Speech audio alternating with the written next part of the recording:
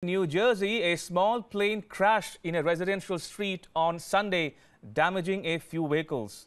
The pilot was safely removed from the mangled remains and moved to a nearby hospital. The pilot's condition is not immediately known. People living in the area said the crash felt like an earthquake.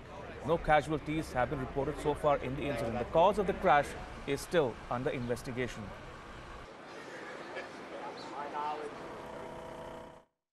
Uh, arriving fire companies found that obviously a small uh, plane had crashed with the turned upside down, and the pilot was trapped inside.